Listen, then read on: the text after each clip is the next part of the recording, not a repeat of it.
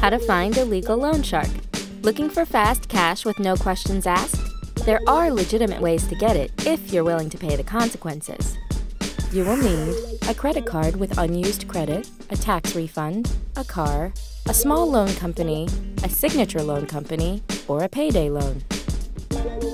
Step 1. If you have a low interest credit card you haven't maxed out, consider taking a cash advance, but check your interest rate first. Some are as high as 33%.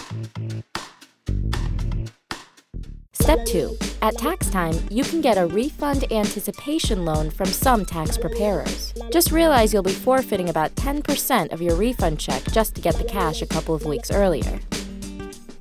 Step 3. Get what is known as a car title pawn if you can stomach an annual interest rate of up to 360%. The amount you can borrow is way less than the value of your car, but you get to keep driving it unless you miss a payment. Step 4. Borrow money from a licensed small loan company or head to a signature loan company, which won't require you to put up any collateral. Both could charge you up to 48% in annual interest.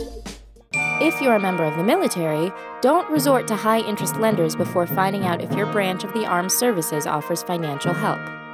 Step 5. Secure a payday loan, a cash advance against your paycheck. But check your local law at www.paydayloaninfo.org before you do.